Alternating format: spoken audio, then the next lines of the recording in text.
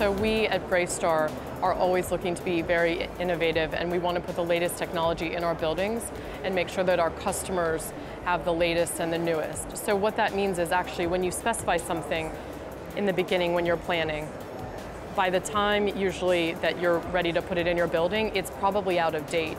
So what we do is we actually have a consistent review process. We have a global development team that has oversight and sees different things in new markets. So we're constantly changing and updating. I think for us, it's still about the customer. So I think you know someone is still wanting you know a presence on the front desk. So for example, you know, when you walk into our buildings, there will be a concierge there that's Greystar that greets you.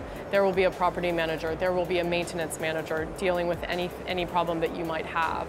And I think while there are ways that know, new technology can help supplement that. I think we, we don't want to completely replace that you know, existing customer experience with a human.